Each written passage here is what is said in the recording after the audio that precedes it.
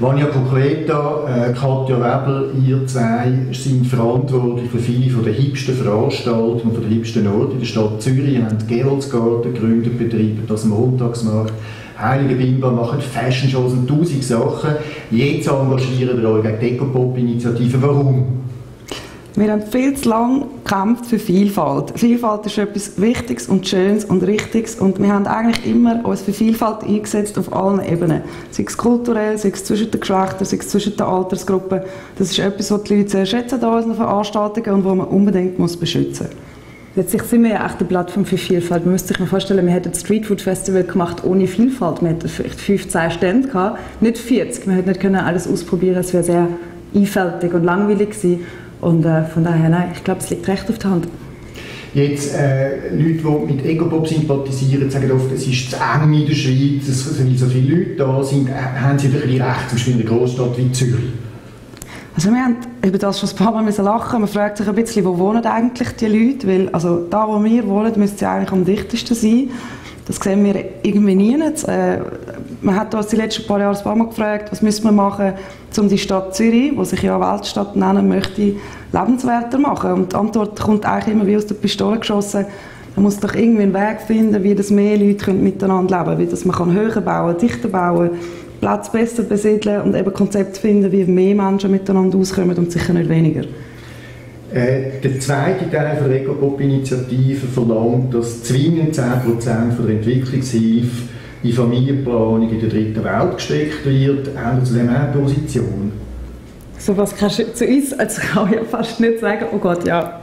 Ja, wir sind A, Frauen, B, haben wir Bildung studiert, C, sind wir Unternehmerinnen. Ähm, wir finden, Familienpolitik ist Privatsache und es hilft ganz sicher niemandem, wenn wir aus einer Erstweltperspektive, aus einer dritten Welt vorschreiben, wie viele Kinder das sie dürfen haben.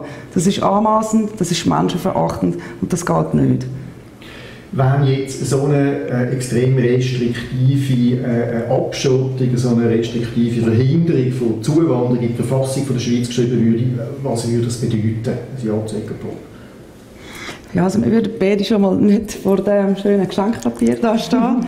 ähm, ja, mich gibt es da nicht. Ich äh, bin mit etwa zwei eingebürgert worden in der Schweiz. Ich bin ohne Pass auf die Welt gekommen. Ähm, mein Vater ist als 68er in die Schweiz damals und ich bin da aufgewachsen, ich bin da in die Schule gegangen. Ich konnte eigentlich von allem können profitieren, was man in der Schweiz hat können profitieren und ich für meinen Teil bemühe mich darum, das auch wieder zurückzugeben und das zu pflegen, den Ort, wo man eigentlich eben, also ich habe die Schweiz immer als einen offenen Ort empfunden und ich möchte, dass das unbedingt so bleibt. Ja, und es gibt den Mantics-Markt nicht, es gibt das Café Z am Park nicht, es gibt Heilige Bimbam nicht, es gibt kein Streetfood-Festival. Ja. Nein, und ich wäre auch nicht da. Ich, ähm, ja, ich dürfte leider in dem Fall nicht ähm, da die, groß, die ganzen Veranstaltungen machen und wirklich mit ganz, ganz guten Partnern ganz tolle Sachen miteinander machen. Und ähm, wenn es mich nicht da gäbe, dann gäbe es die ganzen Sachen nicht. Dann müsste ich sie halt leider irgendwo anders machen und ich weiß nicht, ob damit der Umwelt so richtig geholfen wäre.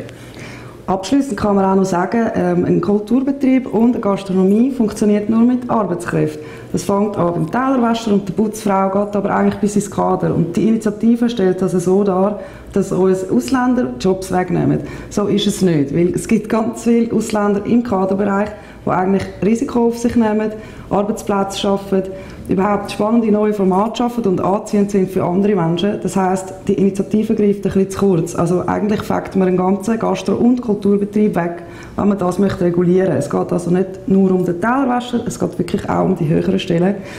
Und darum müssen wir sagen, von uns gibt es ein riesengroßes Nein zu Ecopop. Geht unbedingt stimmen, wir zählen ganz fest auf euch.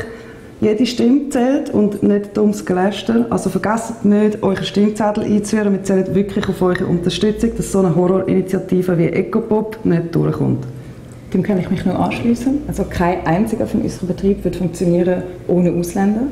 Ähm, da ich selbst Ausländer bin, darf ich nicht stimmen.